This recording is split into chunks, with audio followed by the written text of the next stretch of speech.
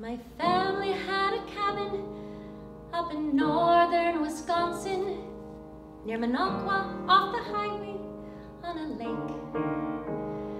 Every winter as a family, on that lake in Wisconsin, we'd build the biggest ice rink we could make.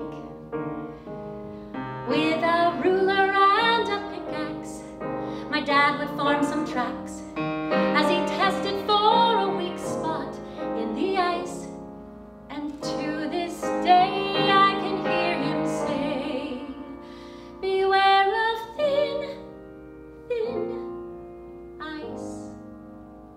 Beware of thin, thin, thin ice.